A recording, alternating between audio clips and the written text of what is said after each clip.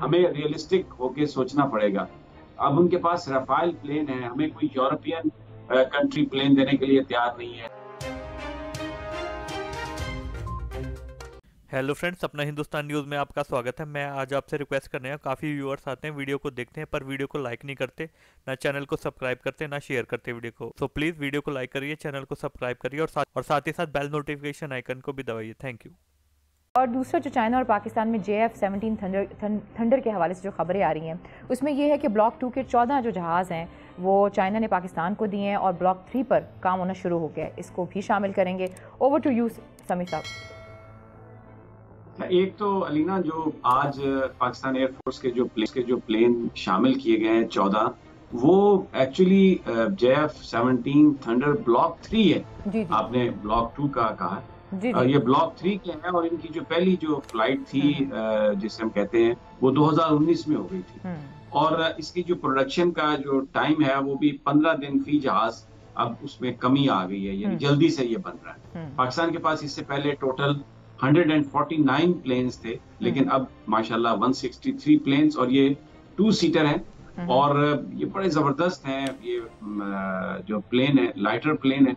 और इसमें पाकिस्तानी पायलट्स की जो महारत है उसने बिल्कुल इसको दो आतिशा बना दिया तो आज ये एक बहुत बड़ी अचीवमेंट है। पॉलिटिक्स पे तो हम बात करेंगे।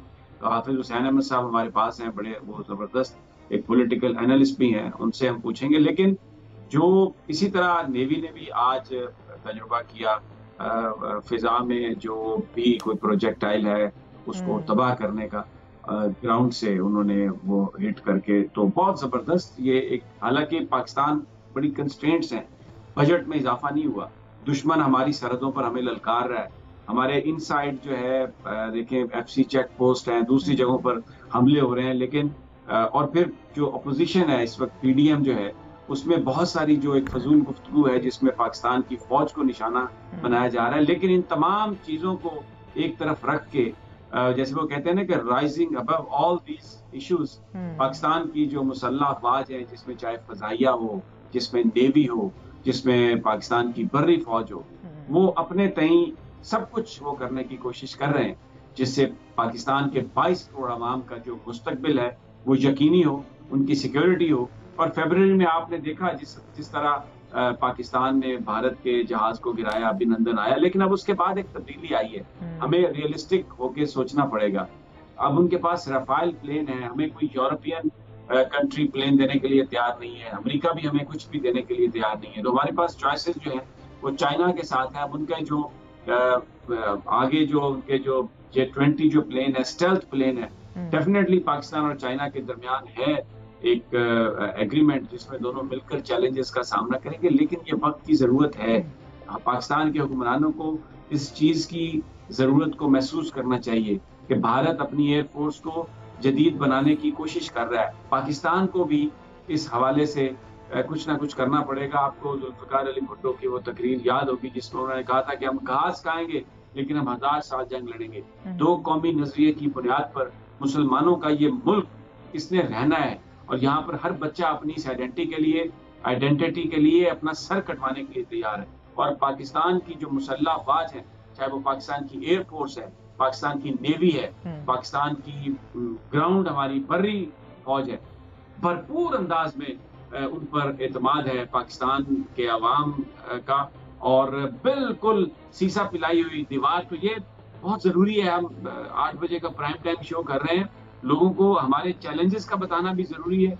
जो पाकिस्तान की अफवाज कर रही है वो भी बताना ज़रूरी है। तो ये आज एक संगे मील है। एक बहुत बड़ा ये हुआ है कि ये block three J F seventeen thunder जो है, वो पाकिस्तान की एयरफोर्स में अब शामिल है और मजीद इस पे काम हो रहा है आगे जदीद टेक्नोलॉजी और इसमें बड़े बहुत अच्छे यानी बड़े हाईली जो मॉडर्न मिसाइल हैं, वो भी इस जहाज़ के ऊपर लगाए जा सकते हैं, जो surface to surface surface to ground जो है, वो फायर करेंगे तो हेलो फ्रेंड्स अपना हिंदुस्तान न्यूज़ में आपका स्वागत है। पाकिस्तानी मीडिया के तो अभी से ही पसीने निकलने चालू हो गए हैं। अभी तो रफ़ेल पूरे भी भारत नहीं आए हैं। थोड़े से रफ़ेल की वजह से पाकिस्तान की टांगे कांपने लगी है। और जो सोच रहे थे हमारी पाकिस्तानी एयरफोर्स इतनी तगड़ी है, जो एक तुक्के में हमारे एक जेट मार गिराया था, उसकी वजह से डींगे मार रहे थे। अब पता चला इनकी टांगे असलियत में कांपती हैं। ये वैसे अपनी आवाम को मूर्ख बनाने के लिए डींगे मारते हैं बड़ी बड़ी और अंदर इनके पास कुछ होता नहीं।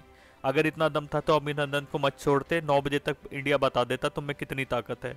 डर के मारे इन्होंने अभिनंदन को वापस कर दिया, और अब चुपचाप बैठ के चाइना के फर्जी जी एफ़ खरीद रहे हैं, जिनको चाइना भी यूज़ नहीं करता ढंग से। ये हालत हो चुकी है पाकिस्तान की।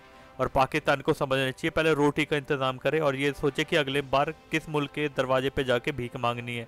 भारत से मुकाबला करने की सोचे भी मत, क्योंकि कश्मीर अब हमारा है, हमारा था और हमारा ही रहेगा। थैंक यू फ्रेंड अपना हिंदुस्तान न्यूज़ देखने के लिए धन्यवाद। बेल नोटिफिकेशन आइकन दबाइए। Thank you